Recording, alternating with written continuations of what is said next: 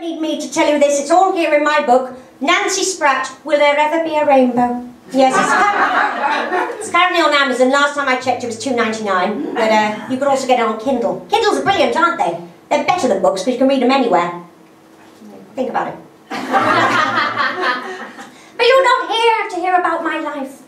You're here for tips. My tips of the trade. Yes.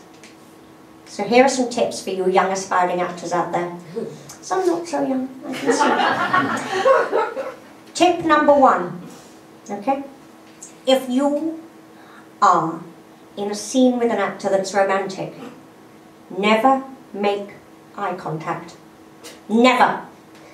Look straight at their forehead. Because if you look at their eyes, you'll laugh. and no one has ever come to a show with Nancy and expecting laughter. So trust me, forehead. I did 18 months in brief encounter with Nigel Havers, still no idea what the fucker looks like. Trust me, forehead. Forehead.